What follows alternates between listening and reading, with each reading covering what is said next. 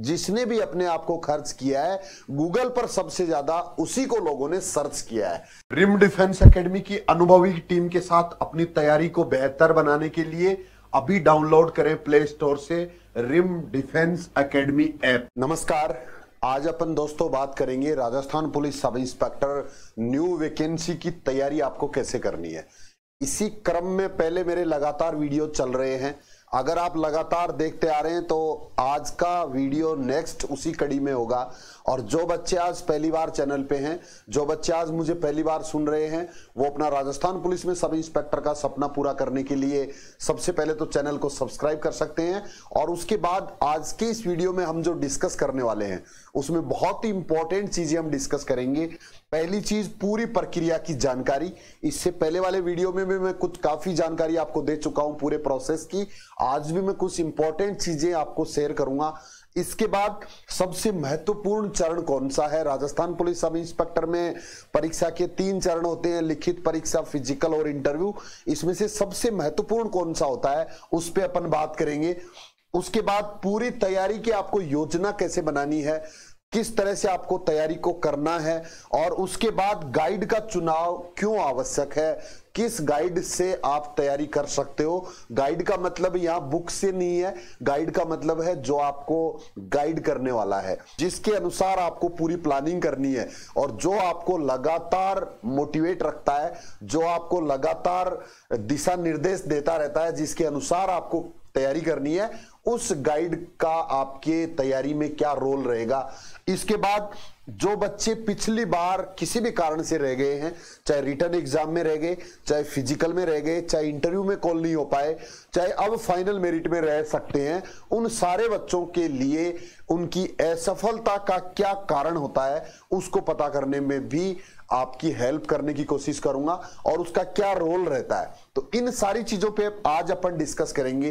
Rajasthan police sub inspector के लिए आप मेरे साथ लगातार तैयारी कर रहे हैं। मेरी भी जिम्मेवारी और बढ़ जाती है कि मैं भी आपको हर उस छोटी छोटी चीज़ के बारे में बताता रहूँ। हर वो चीज़ आप तक पहुंचाऊं जिसकी आपको ज़रूरत है। जिससे आप में ये 10-12 मिनट का वीडियो देख के एक जोश रहे और आप लगातार अपनी तैयारी कर सके बीच में, आप में आलस नहीं आए। और इसीलिए ये वीडियो मेरे लगातार हैं और आपको भी इनका पूरा फ़ायदा लेना है। पूरे 10-12 घंटे पढ़ाई के दौरान अगर आप मुझे 10-12 मिनट अगर रोज देंगे 10-12 मिनट अगर आप मुझे दे देंगे तो आपकी पढ़ाई की जो स्पीड है वो डबल होगी। देखना, क्योंकि जब तक हमें छोटी छोटी चीज़ों के डाउट्स दिमाग में रहते हैं, तब तक हमारी तैयारी को हम अच्छा नहीं कर सकते।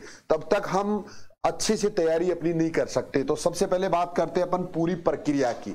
तो पूरा जो प्रोसेस है, उसमें कल वाले वीडियो में मैं लगभग सारी चीज़ें आपको बता चुका हूँ कि इसमें एजुकेशन क्वालिफिकेशन क्या है फ़िज़िकल स्टैंडर्ड क्या होता है इंटरव्यू में कितने मार्क्स का होता है, ये सारी चीज़ें मैंने बता दी थी। बट इसके बाद भी कुछ चीज़ें और रह जाती हैं, वो भी आपको समझने की ज़रूरत है। जैसे ही आप ऑनलाइन आवेदन करते हैं, उसके बाद में सबसे पहले आपका रिटर्न एग्ज़ाम होता है। रिटर्न एग्ज़ाम है, वो 400 नंबर का होगा और उसमें दो पेपर होते हैं। बहुत ही इंपॉर्टेंट है और दोनों दोनों पेपर में से आपको कौन से पेपर पे ज़्यादा ज़ोर देना है? ये चीज़ मैं आपको समझाना चाहूँगा कि आपको सबसे ज़्यादा जो ज़ोर देना है, वो हिंदी वाले पेपर पे देना है। दोनों ही पेपर के अंदर से हिंदी वाला पेपर इंपॉर्टेंट इसलिए है कि उसमें एक ही सब्जेक्ट शामिल किया गया है और क्वेश्चन सो होंगे। सिर्फ़ हिंदी हिंदी के सो क्वेश्चन होना बहुत बड़ी बात है और इसमें जो स्कोर होता है, वो भी बहुत अच्छा किया जा सकता है। जीके वाले पार्ट पे चाहे आप कितनी भी मेहनत कर लेना उसमें एक तो बहुत बड़ा लेंदी सिलेबस है, कम से कम दस सब्जेक्ट उसमें बड़े बड़े दिए हुए हैं। और दूसरी चीज़, उसमें पेपर का कोई आइडिया नहीं होता है कि कहाँ से क्या पूछ लिया जाएगा। तो उस पर आपको उतना ही टाइम देना है जितना उसको ज़रूरत है। आपको हिंदी सबसे पहले बहुत अच्छी करनी है, अगर सब इंस्पेक्टर बनना है। कम से कम 98 99 क्वेश्चन आपके सही होने चाहिए। इतनी, इस तरह की आपको तैयारी करनी है। हिंदी की तैयारी आपको कैसे करनी है वीडियोज़ आपको डिस्क्रिप्शन में मिल जाएँगी। सर्च करके भी अगर आप देखोगे तो काफ़ी वीडियो पहले से स्ट्रेटेजी वाले हैं। जिसमें हिंदी की तैयारी कैसे करनी है, दूसरे पेपर की तैयारी कैसे करनी है, सिलेबस क्या होगा, ये सारे वीडियो आपको वहाँ से मिल जाएँगी। तो ये आपको तैयारी करते समय बहुत ध्यान रखने की ज़रूरत है। इसके बाद में दूसरी जो ध्यान रखने वाली बात है, वो है कि आपको पूरी प्लानिंग ज़रूर रखनी है। आपको जो सेकंड वाला पार्ट है ना, उसमें जो पार्ट आपका अच्छा है, उसको और अच्छा बनाने की कोशिश करो। क्योंकि हम कई बार क्या होता है, किसी एक पार्ट को छोड़ देते हैं कि इसमें से तो पाँच सिक्यूशन आएँगे इसमें से तो दस सिक्यूशन आएँगे तो किसी भी पार्ट को आपको एक तो छोड़ना नहीं है, और जो आपका अच्छा है, उसको और अच्छा करने की कोशिश करना है। बहुत से बच्चों के साथ पिछली बार ऐसा हुआ है। हिंदी में बहुत अच्छे नंबर है, लेकिन जीके और जीएस वाले पेपर में 40 परसेंट मार्क्स नहीं हो पाए 36 परसेंट मार्क्स नहीं हो पाए और उसकी वजह से पूरी मेहनत पे पानी फिर गया। तो इस चीज़ का भी दोस्तों आपको बहुत ध्यान रखने की ज़रूरत है कि आपको किस तरह से अपनी तैयारी करनी है कि दोनों पेपर में कम से कम 40 परसेंट मार्क्स हम क्रॉस कर पाए, नहीं तो पूरी मेहनत हमारी बेकार हो जाती है। इसके बाद जैसे ही रिटर्न एग्ज़ाम कंप्लीट होता है तो फ़िज़िकल लिया जाता है। फ़िज़िकल के लिए लगभग 20 गुना बच्चों को क्वालिफाई किया जाता है और 20 गुना बच्चों में से जितने बच्चे फ़िज़िकल क्वालिफाई करते हैं, लगभग आधे बच्चे ही होते हैं जो फ़िज़िकल क्वालिफाई कर पाते हैं, यानी कि आधे बच्चे निराश हो जाते हैं सिर्फ़ रिटर्न एग्ज़ाम में मेहनत करके, इतनी साल की मेहनत करके और उसके बाद भी फ़िज़िकल नहीं करने वाले बच्चों की संख्या आधी होती है। इसका मतलब है कि वो अच्छे से, पहले से तैयारी की अपनी प्लानिंग नहीं करते हैं। उनको कॉन्फिडेंस अपने ऊपर या तो होता नहीं है, या फिर वो डर जाते हैं, जिसकी वजह से उनको निराश होना पड़ता है। तो वो चीज़ आपको पहले से दिमाग में आपको रखना है। इसके बाद जो बच्चे फ़िज़िकल क्वालिफाई करते हैं, फिर से मेरिट बनती है और फिर से मेरिट बनने के बाद में फिर क्या होगा कि आपको तीन गुना बच्चों को सिर्फ़ इंटरव्यू के लिए कॉल होता है तो वहाँ भी आपके जो रिटर्न के नंबर है वो बहुत ही इंपॉर्टेंट होते हैं। और लास्ट में फिर 50 नंबर का इंटरव्यू होता है और इंटरव्यू के लिए भी आपको साथ साथ तैयारी करते रहने की ज़रूरत है। अगर आपने प्लान कर लिया सब इंस्पेक्टर बनने का तो एक बार शुरुआत करने के बाद में बीच में किसी भी स्तर के ऊपर आपको आलस अपने अंदर नहीं लाना है, लगातार तैयारी करते रहना है। और याद रखना, जिसने भी अपने आप को खर्च किया है, गूगल पर सबसे ज़्यादा उसी को लोगों ने सर्च किया है। तो आपको भी अपनी कीमत अगर बढ़ानी है, अगर सब इंस्पेक्टर में शामिल होना है तो अपने आप को खर्च करना पड़ेगा, अपने आप को मेहनती बनाना पड़ेगा। इसके बाद में सबसे महत्वपूर्ण चरण कौन सा है? तीनों चरण पे अपन बात कर रहे हैं, रिटर्न एग्ज़ाम, फ़िज़िकल और इंटरव्यू। वैसे तो तीनों ही चरण है, वो अपने अपने स्तर पे बहुत इंपॉर्टेंट हैं। जो बच्चे रिटर्न एग्ज़ाम में अगर असफल हो गए तो उनके लिए रिटर्न एग्ज़ाम बहुत इंपॉर्टेंट चरण हो गया। जो फ़िज़िकल में रह गए तो उनके लिए फ़िज़िकल बहुत इंपॉर्टेंट हो गया। और जो इंटरव्यू में रह गए, उनके लिए इंटरव्यू भी बहुत इंपॉर्टेंट हो गया। और हर एक के अलग अलग मार्क्स होते हैं। 400 नंबर का रिटर्न होता है 100 नंबर का फ़िज़िकल होता है 50 नंबर का इंटरव्यू होता है। एक एक नंबर बहुत इंपॉर्टेंट है। बट कहीं ना कहीं हमें नींव मज़बूत करने की ज़रूरत है, हमें बेस मज़बूत करने की ज़रूरत है। और सब इंस्पेक्टर की एग्ज़ाम में जो बेस होगा, वो आपका रिटर्न एग्ज़ाम होता है। अगर रिटर्न में आपका अच्छा स्कोर है तो फ़िज़िकल पास पास होते ही आप इंटरव्यू में पहुँच जाते हैं। फ़िज़िकल के अंदर 100 में से 50 नंबर ही लाने हैं और वो भी फाइनल मेरिट में शामिल नहीं होते हैं, बाहर निकल जाते हैं। तो अगर रिटर्न आपका बहुत अच्छा है तो आपको फ़िज़िकल में सिर्फ़ 50 नंबर लाने से काम चल सकता है। और रिटर्न आपका बहुत अच्छा है तो इंटरव्यू में भी आपको मिनिमम मार्क्स सिर्फ़ 36 परसेंट लाने से भी आप फाइनली सब इंस्पेक्टर बन सकते हैं। तो इसलिए जो सबसे महत्वपूर्ण जो चरण है, महत्वपूर्ण जो स्टेज है, वो आपका रिटर्न एग्ज़ाम है और उसका पछतावा बच्चों को हमेशा रहता है। जिनका रिटर्न कमज़ोर रह जाता है, वो आगे चल के और जब निराश होते हैं, उस समय पता चलता है कि अगर रिटर्न में थोड़ी सी अच्छी तैयारी और कर ली होती तो हम भी सब इंस्पेक्टर होते ये आपकी लाइफ में भी हो सकता है, आपको भी इसके लिए एक वर्ड होता है काश वो यूज़ करना पड़ सकता है कि काश मैं थोड़ा सा और ध्यान देता काश मैं उस समय थोड़ा सा और पढ़ लेता काश मैं थोड़े दिन पहले तैयारी शुरू कर देता तो मैं भी सब इंस्पेक्टर होता। तो ऐसी स्थिति आपकी लाइफ में नहीं आए, इसी के लिए मैं आपको लगातार ये चीज़ें बता रहा हूँ कि आप अपनी तैयारी फटाफट शुरू कर दीजिए। वैकेंसी का इंतज़ार किए बिना। अब इसके बाद में पूरी तैयारी की योजना आपको कैसे करनी है तो ये आप पर डिपेंड करता है कि आपको तैयारी कैसे करनी है। आपको तैयारी कैसे करनी का मतलब यह है कि अगर आपने एक बार कोचिंग ले रखी है, ऑफलाइन अगर आपने कोचिंग कभी लिया है तो आपको बार बार ऑफलाइन कोचिंग्स के चक्कर में नहीं पढ़ना है। कोचिंग से सिलेक्शन नहीं होते हैं, आप जितना पढ़ेंगे ना, वो ज़्यादा इंपॉर्टेंट है। जो टाइम आप ऑफलाइन कोचिंग में चार पाँच घंटे का देते हैं, उसकी बजाय आप चार पाँच घंटे सेल्फ पढ़िए। अगर आपने पहले कोचिंग ले रखी है, अगर आपने कोचिंग नहीं ले रखी है तो आपको एक बार अच्छे इंस्टीट्यूट से कोचिंग लेना है। पढ़ाने के लिए आपको हर जगह टीचर मिल जाएँगे, लेकिन आपको कोचिंग वहाँ से लेना है, जहाँ आपको लगातार मोटिवेट किया जाता हो, जहाँ लगातार आपके ऊपर दबाव बनाया जाता हो पढ़ाई करने के लिए, पढ़ने के लिए, और वहाँ से आपको तैयारी एक बार अच्छे से करनी है रिटर्न एग्ज़ाम के लिए, और उसके बाद में फिर आगे आप धीरे धीरे अपनी फ़िज़िकल तैयारी भी शुरू कर दीजिए। जैसे जैसे आपको पता चलता है कि आपकी स्थिति क्या है, फ़िज़िकल स्टैंडर्ड क्या है, और आप कहाँ तक उसको पूरा कर पाएँगे, कितना उसमें समय लगेगा, वो चीज़ भी आप अपनी प्लानिंग में ज़रूर शामिल करिए। बहुत से बच्चे हैं जो सिर्फ़ रिटर्न एग्ज़ाम के पीछे रह जाते हैं और फ़िज़िकल में ध्यान नहीं देते हैं। बाद में 50 परसेंट बच्चों को रिटर्न एग्ज़ाम से वापस निराश होना पड़ता है फ़िज़िकल के दौरान।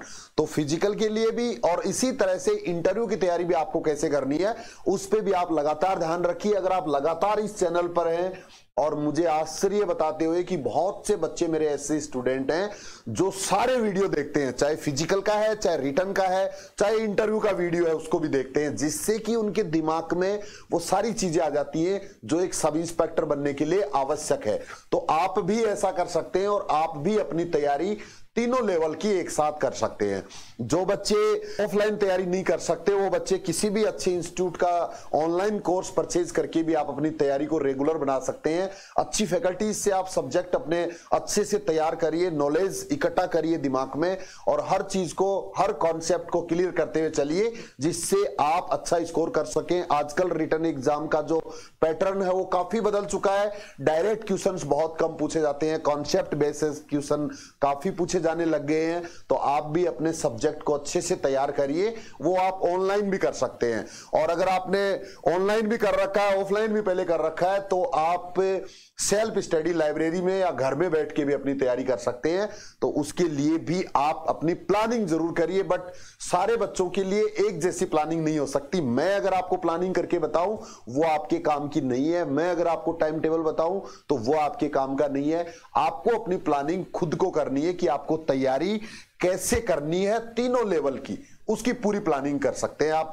मदद आपको अगर किसी भी प्रकार की चाहिए तो आप मेरी मदद ले सकते हैं, कमेंट करके आप पूछ सकते हैं कि आपको किस मदद की ज़रूरत है, किस तरह से आपको हेल्प चाहिए।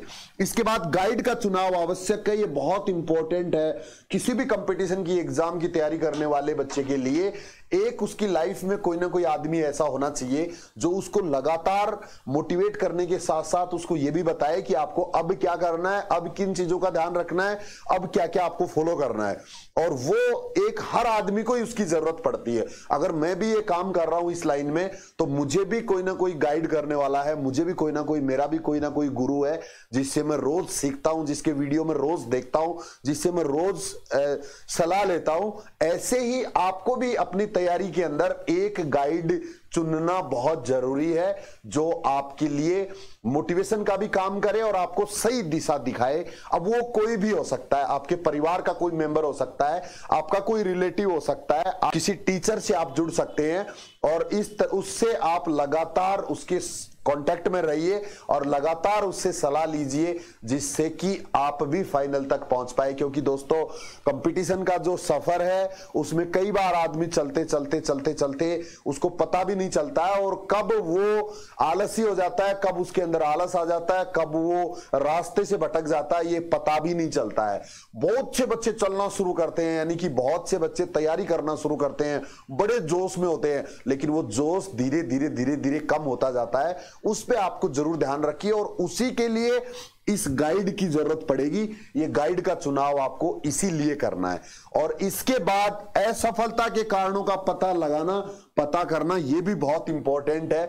अगर आप पिछली एग्ज़ाम में बहुत अच्छी वैकेंसी थी, आठ सौ उनसठ पोस्ट के लिए वैकेंसी निकली थी, जो बच्चे रास्ते में निराश हुए हैं, जो बच्चे इंतज़ार कर रहे थे कि वैकेंसी कब आएगी वैकेंसी कब आएगी और जिस दिन आठ सौ उनसठ वैकेंसी आई, कई बच्चे तो मेरे पास ऐसे आए कि, सर, मुझे लास्ट चांस मिला है। एज में जो तीन साल की छूट मिली है, इसकी वजह से मैं भी फॉर्म अप्लाई कर सकता हूँ, मैं भी सब इंस्पेक्टर का एग्ज़ाम दूँगा। लेकिन वो थोड़े दिनों में वो जोश कमज़ोर हो गया। आपके साथ भी अगर ऐसा हुआ है, आप भी अगर तैयारी करने की प्लान कर चुके हैं सब इंस्पेक्टर का और बीच बीच में आप भी निराश हुए हैं, पिछली बार अगर आप किसी भी कारण से रिटर्न एग्ज़ाम में फेल हुए हैं, पिछली बार किसी भी कारण से आप फ़िज़िकल में फेल हुए हैं, पिछली बार किसी भी कारण से अगर आप इंटरव्यू कॉल नहीं हो पाए तो सबसे पहले अपने उन कारणों पर विचार करिए। अगर आप अपना तरीका नहीं बदलते हैं तो फिर से आपको वही रिज़ल्ट मिलेगा जो अब तक मिलता आया है। तो सबसे पहले आपको अपनी हार के कारणों पर विश्लेषण करना है। कि आप एक बार अच्छे से अपने विचार अपने कागज़ पर लिख लीजिए कि क्या क्या कारण थे जिसकी वजह से मैं फाइनल नहीं बन पाया, क्योंकि हर ग्रेजुएट बच्चे में वो सारी पावर्स होती हैं, हर ग्रेजुएट बच्चा वो सब कुछ कर सकता है इसने ऐसा किया है। जो सब इंस्पेक्टर फाइनल बनते हैं, वो आप भी बन सकते थे बट किन्हीं कारणों की वजह से आप नहीं बन पाए उन पे विचार करिए और अपनी गलतियों को स्वीकार करिए। जब तक आप अपनी गलती स्वीकार नहीं करेंगे, तब तक आप उसमें सुधार नहीं कर सकते। तो पहले उन कारणों का पता लगाइए, सुधार करने के लिए स्वीकार करिए और फिर उन पे काम करिए, जिससे कि आपको इस बार निराश नहीं होना पड़े। ये भी मैं आपको बता दूँ, मेरे बहुत से स्टूडेंट जो मेरे टच में है लगातार, उन्होंने अपनी लाइफ चेंज की है। मुझे कई बार कॉल करते हैं, कई बार मैसेज करते हैं, कई बार आप भी कमेंट देखते होंगे, जो बच्चे बिल्कुल भी पढ़ाई नहीं कर पाते थे, वो बच्चे भी लगातार पढ़ाई कर रहे हैं। और वो इसीलिए कर रहे हैं कि उनको एक सही दिशा मिली है।